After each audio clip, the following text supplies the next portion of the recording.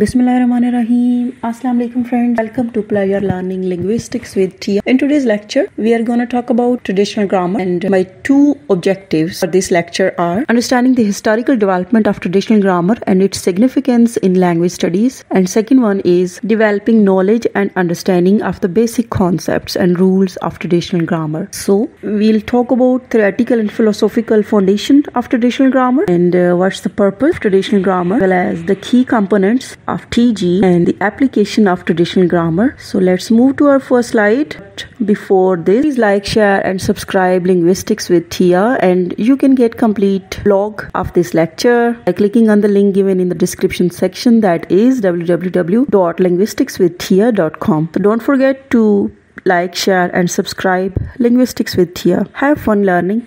So friends, traditional grammar is a prescriptive approach to the study of language that emphasizes rules for correct usage. It is often focused on written form of the language. You can say TG is a prescriptive approach that focuses on the rules of language usage such as spelling, punctuation, syntax and morphology. It often involves the study of parts of speech, verbs, tenses and sentence structure. It aims to establish norms for correct language use. Traditional grammar is often associated with formal education and is frequently taught in schools. So, friends, traditional grammar has its roots in the study of Latin and Greek, and it emphasizes the importance of rules for correct usage, often based on classical models. It's influenced by the work of grammarians such as Pisistratus, wrote the first systematic grammar of Greek in 2nd century BC. And the second scholar is Robert, who wrote short introduction to the English grammar in 1762. These were the first writer, or you can say scholar of TG. And the basic purpose was nothing except to write something that is systematically correct, grammatically as I have mentioned earlier, the purpose of traditional grammar is nothing except to provide rules and guidelines for the use of language, and these rules are based on the established model and tradition. Traditional grammar seeks to describe the correct usage of language and often focuses on issues such as spelling, punctuation, and sentence structure. So, the basic purpose of traditional grammar was nothing except to get a uniformed form of writing on the target language, or you can say uniformed form of language for written or spoken purposes.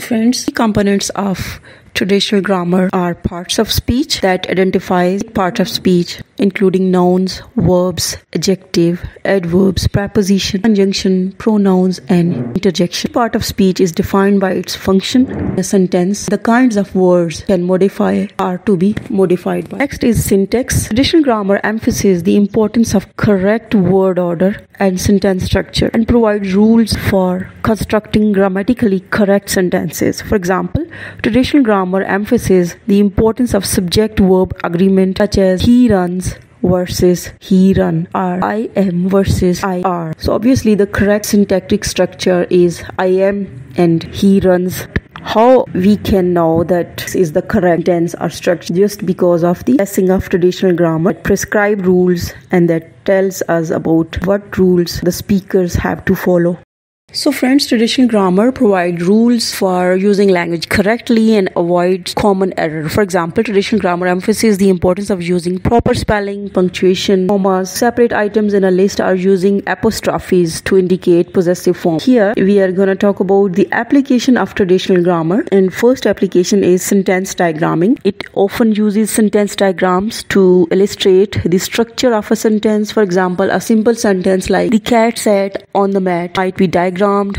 with the subject cat on the left, the verb sat in the middle, and the object mat on the right part, at the right side of the sentence. So, friends, Traditional grammar provides us analysis of the parts of speech, providing a framework for analyzing the parts of speech in a sentence. For example, in the sentence, the quick brown fox jumped over the lazy dog. Uh, traditional grammar would identify quick and lazy as well as brown as adjective because it is modifying noun and jumped as a verb and over as preposition. Next is correct usage. Traditional grammar provides rules for using language correctly, like I am versus I is, he runs versus he run. So, friends, traditional grammar is a prescriptive approach to the study of language that prescribe rules that tells us how to say something correctly and grammatically must be correct and uh, what rules the speakers have to follow.